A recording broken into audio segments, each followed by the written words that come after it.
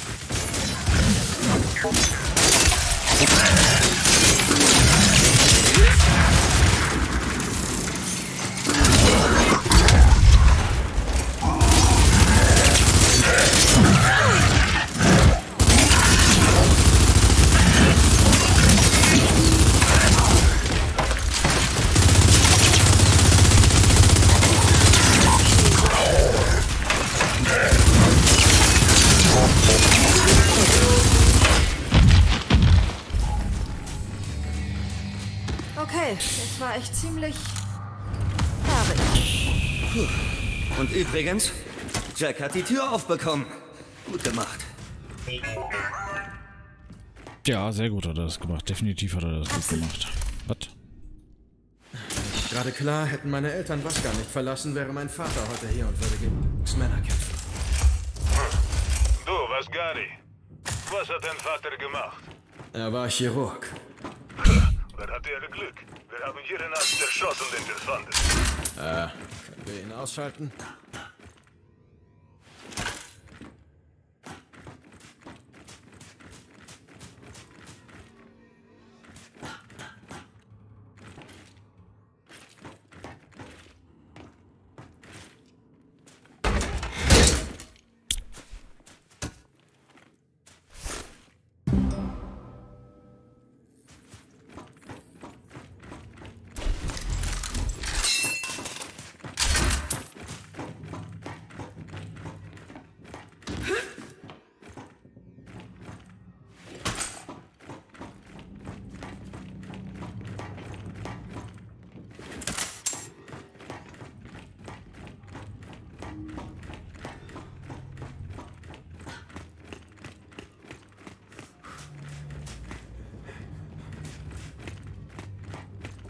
Sag mal, wie viele Panzer sind die denn noch reingefahren? Haben das ganze Ding hier zerstört.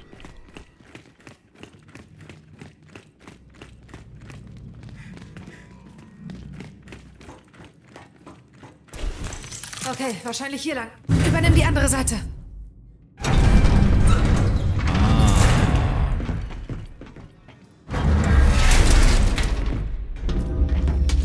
Verstanden. Wir haben die Raketenspitze. Keine Satelliten. Moment, ich sehe die anderen. Auf beiden Seiten der Kammer. Auf den Kran. Wir laden sie einen nach dem anderen auf. Gute Idee. Ich fahre.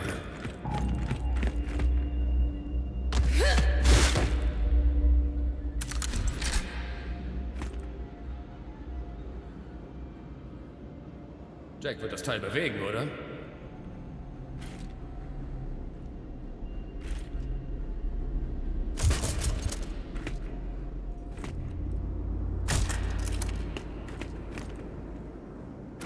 Deinen Bot den Kram bewegen. Die loyalisten Befehle von Major Tolly. An Leutnant Mellich und Captain Dagger. Die Tragweite und Bedeutung unserer Mission sind womöglich viel größer als gedacht. Ich habe Informationen über Unstimmigkeiten und Gewalt innerhalb der Truppen in der Region erhalten. Und das inmitten von Meldungen vom Waffenstillstand. Die Sicherheit des Prototypes des Hammers der Morgenröte muss um jeden Preis gewährleistet werden. Ich habe dafür gesorgt, dass es sich um eine handverlesene Brigade aus Verstärkungseinheiten vor Ort anschließt. Ich, nee, auch ich werde in Kürze eintreffen, um zu helfen.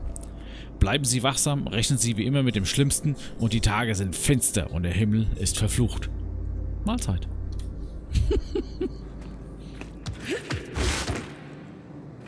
okay. Da ist auf alle Fälle einer. So. Bring den Kran näher ran, Jack. So wie den letzten.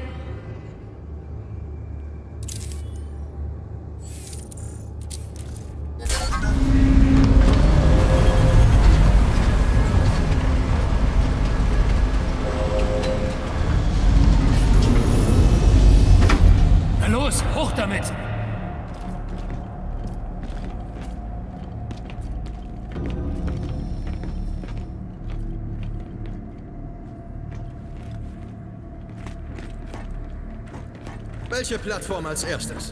Gib Bescheid. Immer diese Entscheidungen. Gut, gehen wir.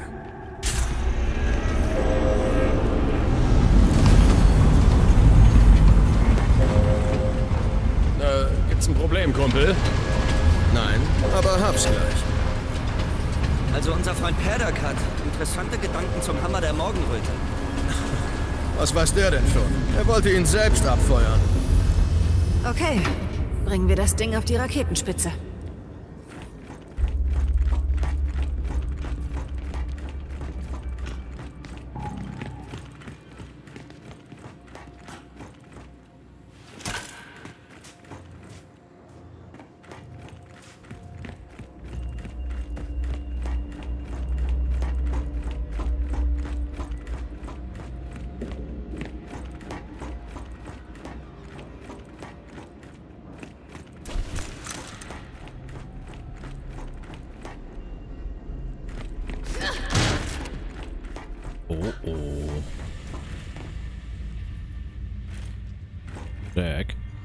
Licht an.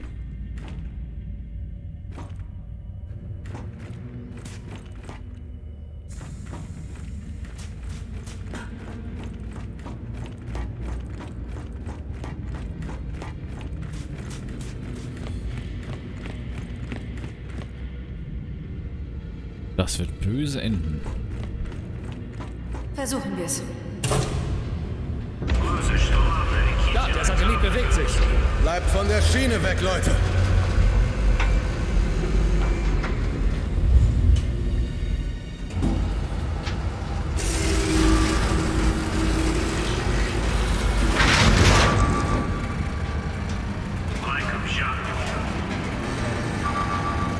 Na toll, er steckt fest. Es braucht vielleicht nur einen Tritt.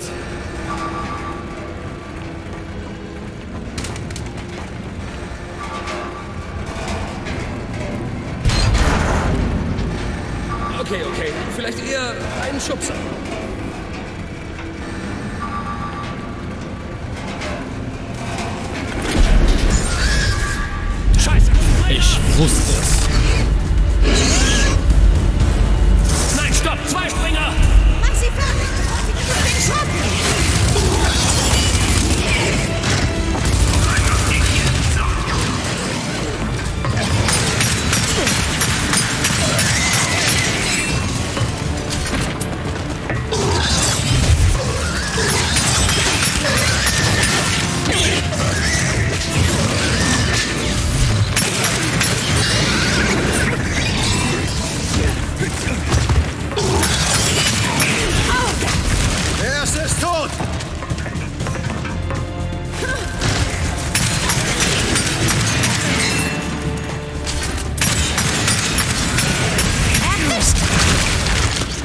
2 ist von der Plattform.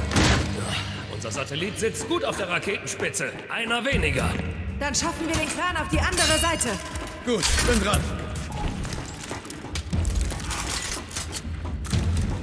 Uh.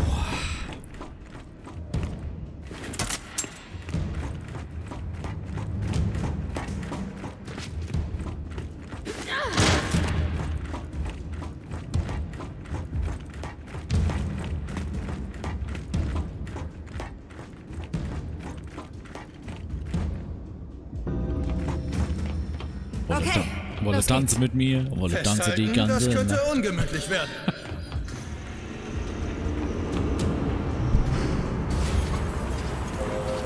Hey, was wenn Paddock recht hat, was die Satelliten angeht? Scheiße! Schwarm auf der anderen Plattform!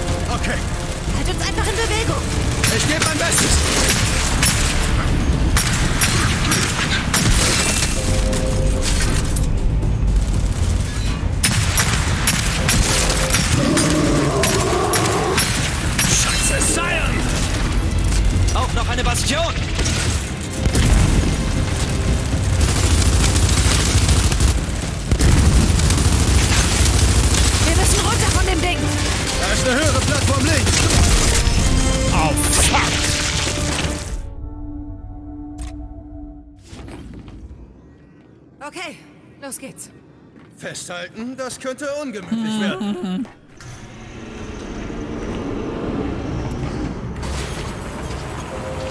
Hey, was wenn Paddock recht hat, was die Satelliten angeht? Scheiße, Schwarm auf der anderen Plattform!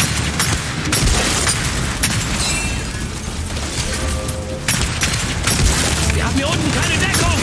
Was? Bring uns höher! Dran!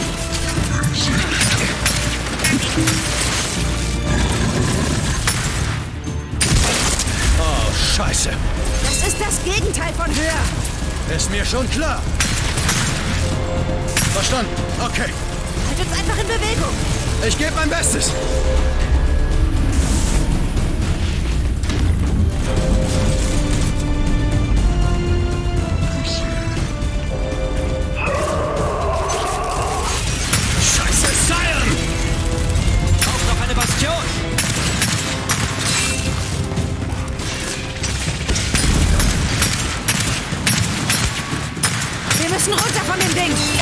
Eine höhere Plattform links. Durchhalten. Bring uns dorthin, jetzt!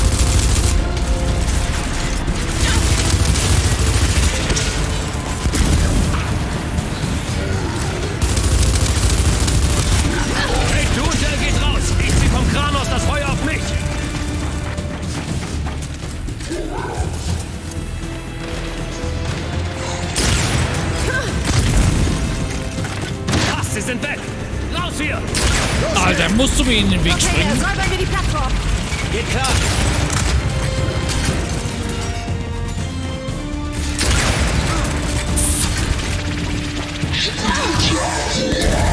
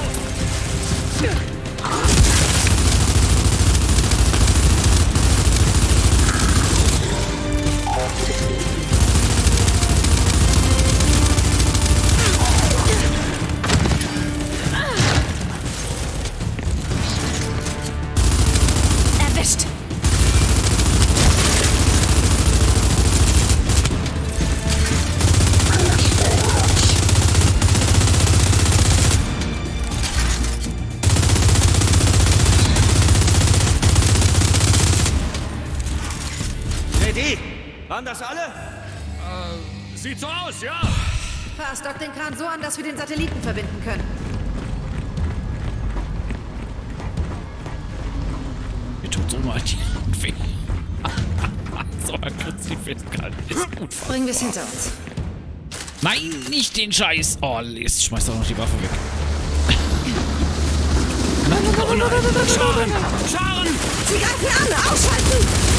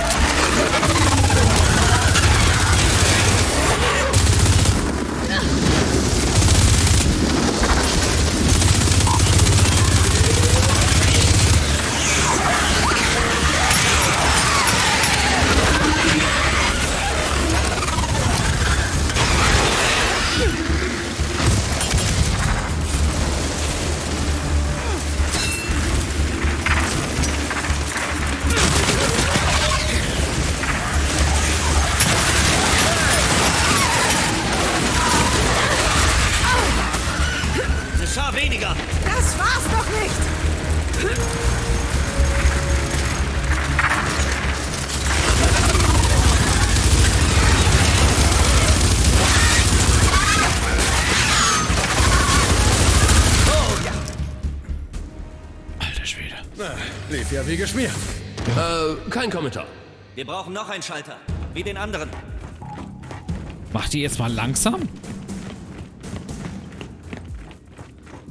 Noch, brauche noch einen Schalter.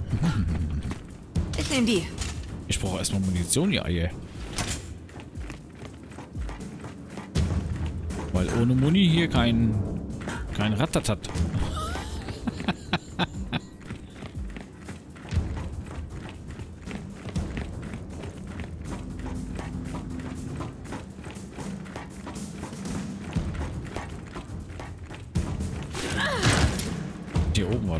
Was, ja. Da hinten... Nee, hab ich den mitgenommen? Ach, hier ist nichts mehr. Scheiße. Ach, das stimmt auf der anderen Seite. Ah. Äh, nein. Na gut. Drück den Knaller. Warte mal, was war das hier? Achso, Hammer Brust. Nee.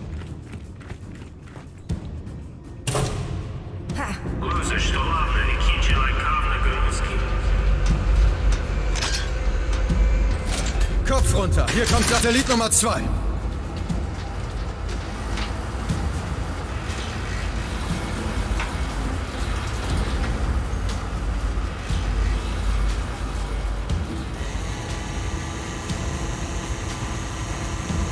Klack, gleich fällt er runter.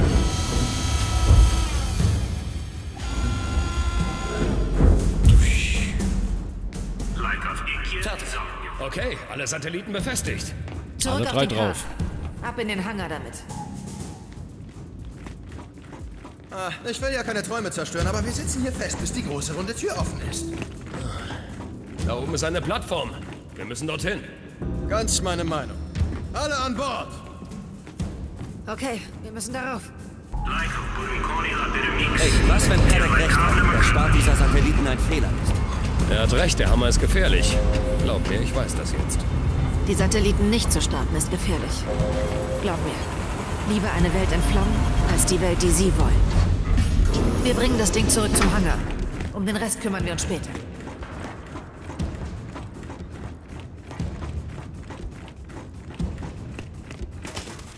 Versuchen wir es mal. Leute, das Taxi fährt los. Verdammt, das Öffnen der Tür hat eine automatische Sequenz initiiert. Dann passen wir eben zu Fuß drauf auf. Gerade als ich den Dreh raus hatte.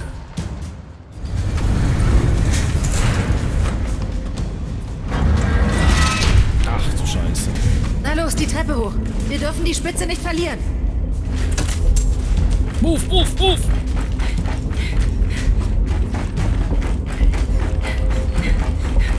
Da, bleiben wir dran. Dieser Scherzkeks bleibt Vorsicht, dran. unter uns. Hallo!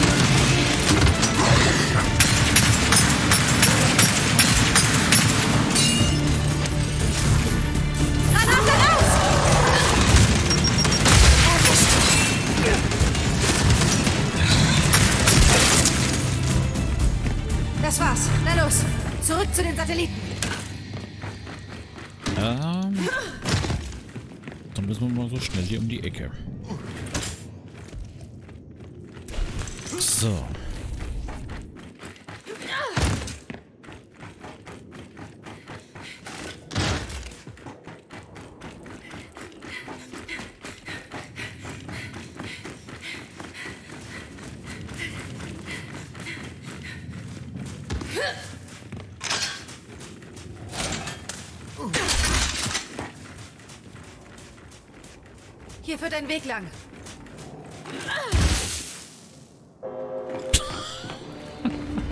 Da vorne. Bleiben wir Ach da. du Scheiß. Paddock, Baird, wir eskortieren gerade die Satelliten zurück zum Hangar. Gut, wir entschlüsseln immer noch die alten Dateien, aber es geht voran. Geht zu eurem Skill. Wir werden die Rakete bald finden. Alles klar, wir sind unterwegs. Jack, wir brauchen Licht. Bin ich hier richtig?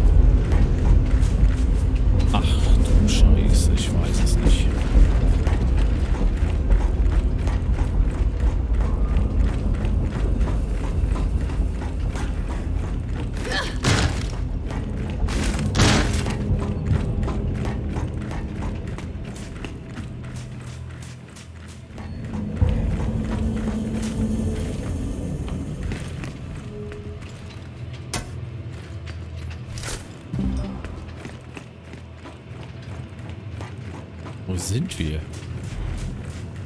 Na los, sobald wir wieder im Hangar sind, schlagen wir uns nach draußen durch. Oh, jetzt wird's interessant. Die Rede des Majors. Hier ist Major Garen Paddock. General Trescu ist gestorben. Der Mann hat jahrzehntelang Sieg und Ruhm für diese Republiken errungen. Man hat mir gesagt, sein letzter Wunsch kurz vor seinem Tod war, dass wir uns der Chor niemals beugen. Und hier sind wir nun. Jaschenko hat uns hierher geführt. Ein Feigling, ein Schwächling, ein Intellektueller, ein einflussreicher Mann. Er wollte uns glauben machen, dass unser einziger Weg nach vorne darin besteht, sich den Schakalen zu unterwerfen, die wir unser gesamtes Leben lang bekämpft haben. Er wollte uns Männer wie Major Tolly folgen lassen, dem Versager vom Amboss-Tor. Ein Mann, der schon einmal von den Chor hereingelegt und nun wieder getäuscht wurde. Der Sieg ist näher als jemals zuvor, doch das solltet ihr nicht erfahren. Die sa sie sagen, die Sache sei erfolglos. Warum? Weil sie Angst haben? Angst vor der Chorschakalen? Doch wichtiger ist noch, sie haben Angst vor euch. Sie wissen, dass in unserer Brust eines jeden stolzen Kindes der Republiken ein starkes Herz und ein eiserner Wille wohnt. Nichts davon wird gebrochen werden. Nicht heute, nicht morgen. Heute, meine Freunde, heute werden wir unseren Willen verkünden.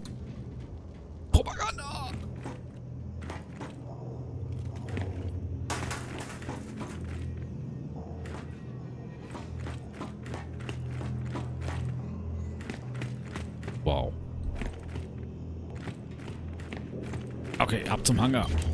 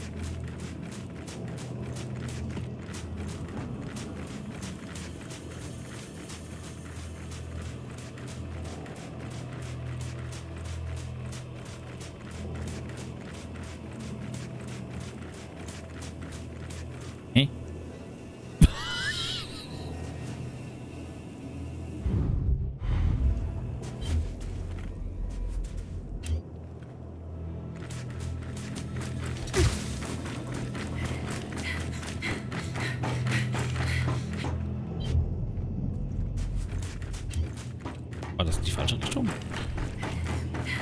Geht's jetzt zum Hangar?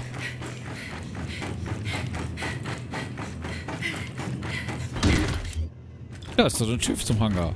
Wo sind die anderen zwei? Brauche Hilfe. Ja.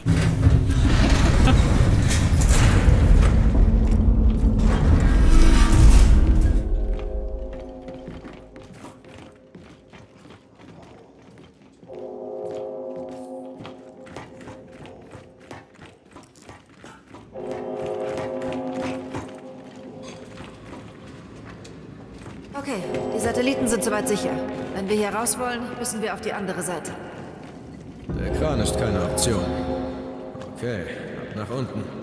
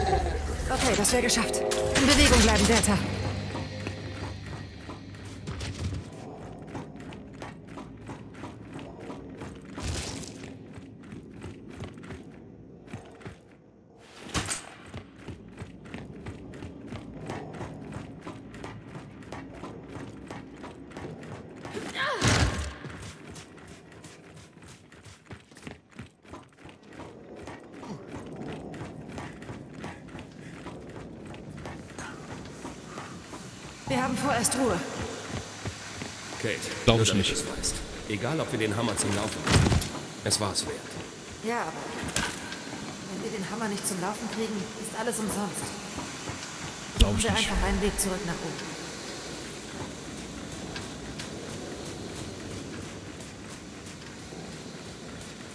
Das ist zu viel. Zu viel. Das ist zu viel, zu viel.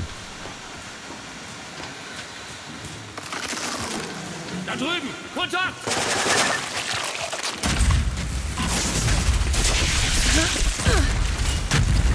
Hey, was zum Geier ist das? Das ist ein Träger! Und er ist nicht allein! Zurück, zurück! Ausschwärmen! Lasst euch nicht einkreisen!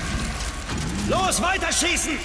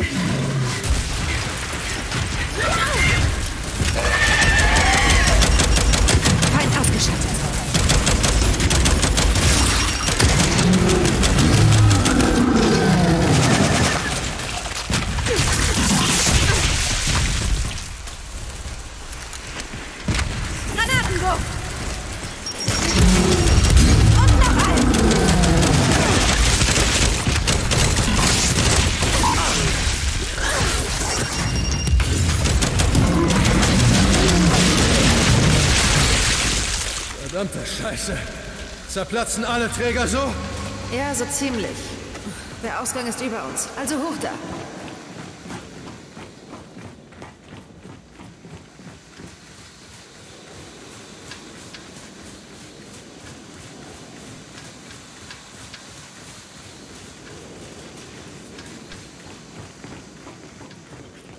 Jack, öffne die Tür.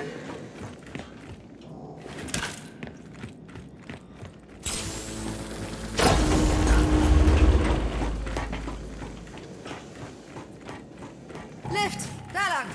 Alle Mann rein.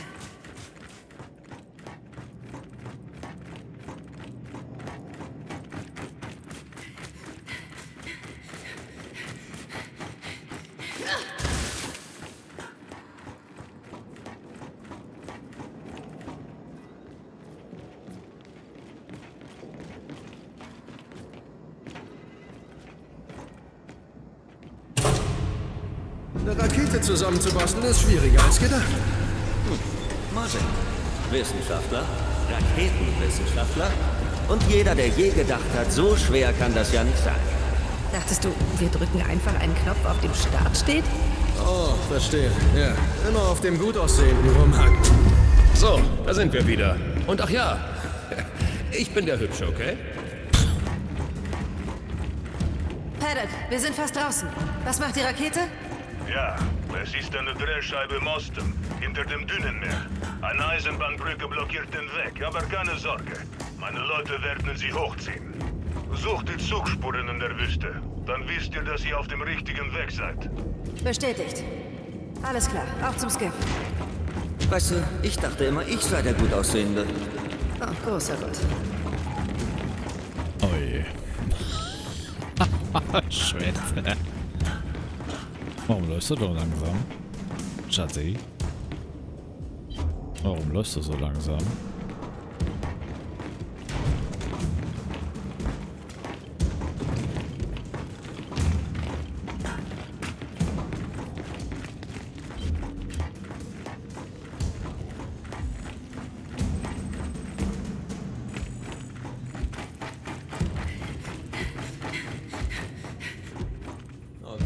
Jetzt keine Kritik sein, aber ich bin etwas verwirrt. Hier gibt's nichts für uns zu tun, oder? Nein!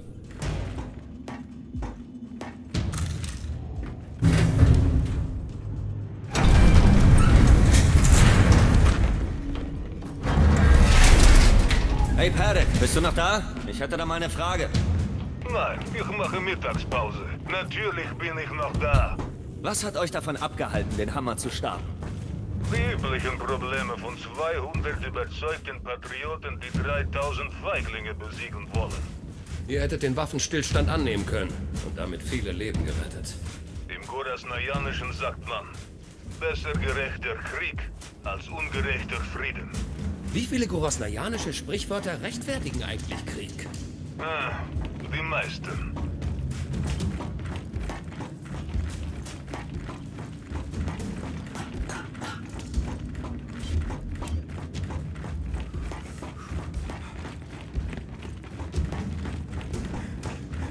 Haben wir denn jetzt überhaupt alles schon durch? Ah, ich kann nicht rausgucken. Okay, gehen wir raus. Kann ich auf die Karte gucken?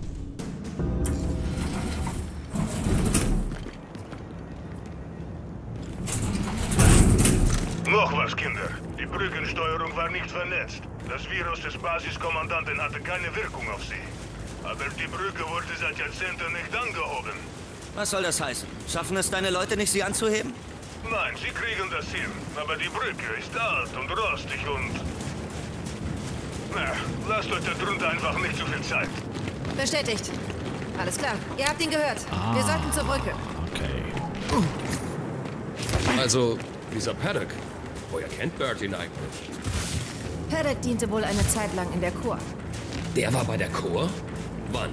Hm, weiß ich nicht. Sie wollten auch nicht wirklich drüber reden.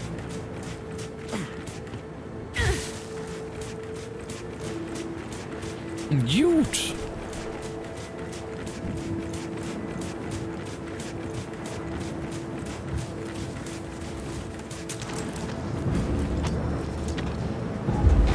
Los, wir müssen an der Brücke vorbei und rüber zur Drehscheibe.